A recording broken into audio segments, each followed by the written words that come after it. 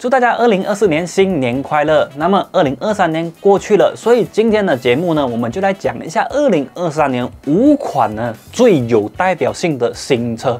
那么这五款车我们是以什么作为标准？首先我们是以这个讨论度以及之后的订单来做一个标准啊。所以可能有一些车子没有办法入榜，但是我可以跟你肯定的是，这几款入榜的车子呢，都是他们这集聚中的佼佼者。那么在今天的影片开始之前呢，就请大家先帮我们按赞、订阅、分享一下啦。第一款要讲的车子就是在去年年末发布的 Proton S70，这款车也是二零一六年 Proton Saga 之后呢，Proton 历经那么多年来推出的第一款全新 Sedan 车型。我们都知道啦，它的原型车是这个吉利的帝豪第四代，但是呢，这款车在马来西亚发布之后呢，我们发现了有一点点不一样，就是它的车身尺码跟原版的帝豪相比呢是缩短一点点。虽然 Proton 讲它是一辆 C segment 的这个 sedan 车型，可是实际上它跟 B segment 的 CD 相比呢，其实它大不了多少。所以其实很明显啦，Proton 就是把这个 Proton H10 用来瞄准这一个 Honda City 还有 Toyota Vios 的 market。那么这款车为什么上榜呢？就是因为它发布之后呢，它的订单非常非常的出色。根据消息指出，到二零二三年的年尾呢，它的总计订单已经差不多到了四千五百辆。虽然跟原厂设定的五千辆目标还是有一点差距，可是以一辆全新的车型来讲呢，这款车其实还是表现不错的。那么这款车有什么卖点呢？首先就是它的价位确实是非常亲民。首先，我知道很多人会拿它的价格跟这种日本车的 B 型门来比，可是我们要知道的是哦，Proton 是国产车，所以在税务的部分呢，相比起日系的品牌呢，他们是确实有一定的优势的。因此，Proton H 卖便宜其实也是合理的。它的售价从七万三千八百块起跳，真的这个价格很有优势。而且重点是顶配的版本也大概是在九万五千块左右。顶配的版本就是 Fresh 跟 Fresh X 呢，它们配备了 Level Two 的半自动驾驶辅助系统，六气囊，还有一点五公升的涡轮增压引擎。不过这涡轮增压引擎是全车系的标准配备啦。它的最大马力表现是一百五十 PS，大概是一百四十八 HP 左右。峰值扭矩表现两百二十六牛顿米，匹配七速的十四双离合器变速箱。以这样子的价位拿到这样子的配备，确实超值。但是它也有一点点的缺点啊。首先就是它没有 Android 或 Apple CarPlay，这个是大家都在 complain 的东西啦。不过讲真的，以这个价位来讲，我觉得还是可以接受的。所以呢，我们今天第一款讲到的车就是它。那么你对这个 Proton 的 H10 有什么看法？可以在影片的下面留言给我们知道啦。七十迈 A 八零是目前七十迈最强的这一个行车记录仪，它采用了 Sony 的 IMX 六七八传感器，因此它可以摄入最高 4K 加 HDR 的视频格式，清晰度非常的高。另外呢，还有支援这个 AI 动态侦测。另外，你也可以通过 Hardware 可以让它二十四小时随时维持这个运作的状态。你也可以选配后摄像头，让你的车子前后都获得保障。然后还可以通过 4G 联网，随时获得你车辆的资讯。那么还等什么呢？现在登录 Auto To You Dot My 呢，输入优惠码 Automatic 三十，你就可以享有三十块的这个折扣，而且全马包邮。还等什么？心动不如行动！第二款要讲到的车型，最近有一点点丑闻产生啊，它就是在这个年初发布的第二代 Pro Duo Asia。其实它的名字读 azia 不是阿西亚哈。OK，这一款车呢，它采用 DNGA 平台打造，对比第一代的 azia 呢，它的车身长度大了不少，而且它的空间表现跟这个配备呢都进步了非常多。当然有人讲啊，这个顶配的 Asia 才采用1.0公升的引擎，可是就要卖接近五万块，确实很贵。其实我是赞同你的，但是它贵呢是有它的价值所在啦，因为呢它的这个配备啊等等都非常非常的丰富，基本上在这个价位里面你是买不到这样子的配备的。当然，它的缺点也是有啦，就是这个一点零公升的这个自然进气引擎呢，动力表现是稍微弱了一点点。但是没有关系，因为大部分会选择这个极具的消费者呢，其实最主要的还是要一个省心，还是要个低油耗等等。所以这款车在发布之后呢，这个订单表现也非常非常的出色。它目前是 Pro Duo 第二畅销的新车，仅次于 Veza。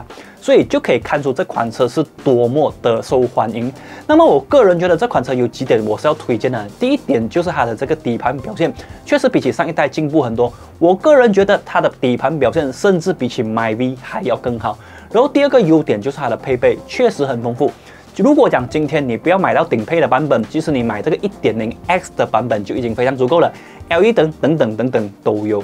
当然啦，最近它受到了这个安全测试造假的影响，所以我相信很多消费者的心中都会有一个疙瘩。所以我觉得大家还是跟自己的心走。如果你觉得你对这款车有一个嗯，可能有一个障碍的话，那么就不要去碰啊。但是如果你觉得没有问题的话，那么你就可以去选择它。因为目前呢，不只是马来西亚政府，像是台湾呢、泰国跟印尼已经放行了这一个新车的销售，所以这款车销售上是没有问题了的。所以我相信那么多国家会通过的话，证明了它的安全性可能是没有问题的啦。不过目前 UNW Toyota 跟 Pro Duo 都没有公布更进一步的详情，所以我们就等待他们怎样公布啦。第三款车型要讲到的，同样也是被这个造假风波影响到的新车，它就是这个第四代的 Toyota Vios。没有错，它就是第四代，之前的车款是第三代啊。这款车同样采用 DNGA 平台打造。那么这款车其实在发布之后呢，它的销售成绩同样的也非常出色，平均每个月都有两千辆的销量。加上从十月开始呢，UNW Toyota 给予了这个巨额的优惠，所以这款车的销售成绩真的是非常非常的火爆。那么是什么原因导致它那么火爆呢？首先必须讲在外观设计的部分，全新一代的 Toyota 确实是还蛮好看的啦。其次就是它的配备。如果你是买到顶级版本的 V 车型呢，那么你可以享有这个主动安全配备完整版，像是 ACC 啊、车道维持系统、眼镜功能、自动调节等等，你都有。然后有六气囊，有三百六十度镜头，有电子手刹车，有无线的 Apple CarPlay 等等等等等等，都可以在这辆车上面看到。然后它的售价是九万五千块，对比上一代呢，确实是贵了。但是这个价差可以换来这些配备，我觉得还是非常实际的。那么这款车同样的也是受到了这个造假风波影响，目前已经恢复销售了。除了马来西亚之外，印尼跟这个泰国都可以买到这款新车。所以都是那句啦，如果大家觉得心里有疙瘩的话，就不要去看它；如果觉得没有问题的话，还是可以去的。第四款车要讲到的同样是日系车型，也是售价比较贵的车型，它也是刚刚发布的全新 Honda CRV。那么为什么我们会讲到这款车呢？因为这款车的这个订单表现呢，比原厂预期的还要更好。在发布之前呢，它就截获了两千多张订单，而且会从二零二四年的一月开始大规模的交货。在二零二三年，据说只有三百辆而已啦，所以你要真正看到它 on the road，要到二零二四年。那么这款车是为什么会那么受欢迎呢？首先，Honda 的那个招牌在那边，这个是肯定的事情了。那么除此之外，这款车的本质其实还是不错的。当然，我相信很多人可能会吐槽它的内装啊什么什么，但是各花入各眼，你不喜欢不代表人家不喜欢。而且 CRV 它主打一个实际，因为它的空间表现确实是大。然后除此之外呢，它还有两个引擎可以选择，分别是一点五公升的 VTEC Turbo Engine，还有二点零公升的 RX 版本，也就是采用的 eHEV 版本的引擎。那个版本呢，最大马力表现是一百八十四 PS，峰值扭力表现三百三十牛顿米。如果你单看数据的话呢，它的这个动力表现其实已经逼近了这个二点零的低功率涡轮增压引擎，加上它的油耗表现出色，所以据说目前订这个版本的消费者非常多。那么一点五公升的版本呢，如果是讲你不大在意油耗的话，然后其实它也是不错的，因为我在泰国开过这台车，我对它的动力表现我觉得是 OK 的，而且重点是。它的入税每一年只有一百二十块而已。当然，可能会有朋友讲，买到一百七十千的车的人，哪里还会在意这个一百二十块的入税？其实还真的是有的。所以大家不要小看这个入税造成的影响。那么除了引擎的部分呢，它在配备上面也是非常的不错啦，就是全车系标配了这个 Honda 三星。另外呢，从 V 版本开始呢，就有这个三百六十度镜头等等可以选项，所以它热卖还是有它的原因在的。我相信很多朋友会拿这个 CRV 来跟这个 Tigo X Pro 相比，那么我会建议你自己去试驾这款车，自己去体验这两款车，那么你自己心里就会有答案了。你买什么车都好，那个是你自己的选择，不要受别人的影响哦。最后一款要讲的车型呢，它在马来西亚真的是狂风扫落叶。目前在 b e n i n 在 JB 跟在这个吉隆坡呢，你可以看到非常非常的多。它就是 Tesla 的 Model 3，而且值得一提的是，马来西亚的 Model 3呢是跟美国还有中国同步发表，也就讲实际上啊。泰国啊，新加坡可能还没有发表这款车，我们就已经发表了，而且我们已经拿到了。虽然目前没有一个详细的数字指出呢，这个 Tesla Model 3交车交了多少辆，但是它的能见度是多的可怕。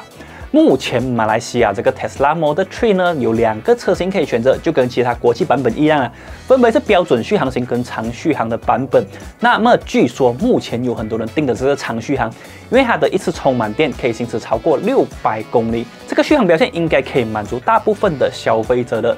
那么实际上这款车怎样呢？嗯，我们其实有跟 Tesla 们的一些要求，这个 Tesla 啦，但暂时还没有拿到。等我们体验过这款车之后呢，就会跟大家分享进一步的详情啦。不过这款车呢，确实科技感很重，尤其是它的这个触屏主机呢，据说它采用了一个 AMD 提供的超强处理器，它的图形算力跟这个 Sony 的 PlayStation 5一样，也就是讲你可以在这一个 Tesla 的主机上面呢，玩到 PS5 画质的游戏。是不是很惊喜呢？所以它就是一个科技产品。如果你想要尝鲜的话，这个 Tesla Model 3呢，其实是不错的。不过据说二零二三年的车已经卖完了啦，要等新车的话，那么二零二四年可能要等一个比较长的等待期。所以如果你可以等待的话，这辆车还是可以考虑的，因为它的售价从十九万令吉起跳，你可以买到将强科技感的车子，不划算吗？好了，这以上五款车型呢，就是我们列出在二零二三年呢最有话题性的新车。当然，我知道有一些车款没有入围，一些这个车款的支持者可能会讲我们偏帮日系车，可实际上销量证明了一切。这五款车型呢，每一款都是销量非常出色的新车，而且市场表现也证明了它们确实更受欢迎。所以这五款车里面呢，你是哪一款车的车主？欢迎在影片的下面留言给我知道啦。好啦，我是 Ivan，以上就是我们这一期影片的内容。如果大家喜欢我们的影片，记得帮我们按赞、订阅、分享一下。我们下一次的节目再见，拜拜。